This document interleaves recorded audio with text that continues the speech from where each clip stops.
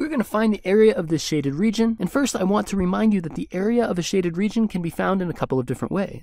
We can find the area of a region by integrating the function that bounds the top of that region minus the function that bounds the bottom of that region and integrating that with respect to x between the lowest x value and the largest x value in that region. However, it looks to me like there's no clearly defined top function and bottom function for this given region. If you look over here, the top function and the bottom function are both the blue function, but if you look over here, the top function is red and the bottom function is blue. So if we were going to use this integral with respect to x to find this area, we would actually need to split this region into two pieces, find those two areas separately, and then add them together in the end. However, it might be a little bit easier to find the area of this region by integrating the right function minus the left function. That is because there is a clearly defined right function and left function for this entire region. However, you'll notice that when we look at this region this way, we split this region up into a bunch of little rectangles that are all horizontally oriented, meaning they all have a height of dy,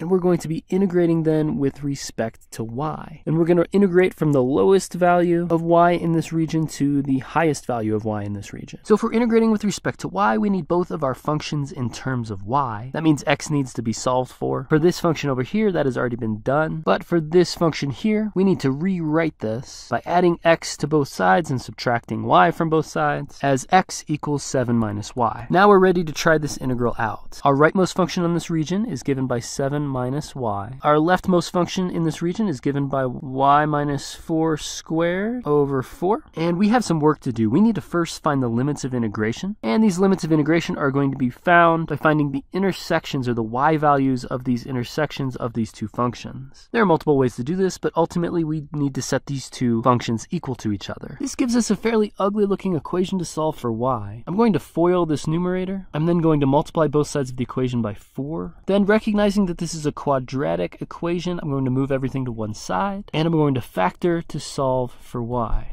That gives us that the limits of integration on this integral go from y equals negative 2 to y equals 6. Now we need to integrate, and this integral can be done in several different ways. I'm going to go term by term. The integral of 7 is 7y. The integral of y is 1 half y squared. This last piece of the integral can be done a couple of different ways. I'm going to use a u substitution. If we say u is y minus 4, then du is the same thing as dy. If we go through that u substitution process, we will end up getting u cubed over 3. And since this 4 is already here, we're going to get u cubed over 12. Ultimately, that's going to give us a y minus 4 cubed over 12. And I'm sorry if that skipped a couple of steps. I'm going to try to squeeze all this in. Now we need to evaluate this. Our upper limit of integration is 6. We need to subtract. Our lower limit of integration is negative 2.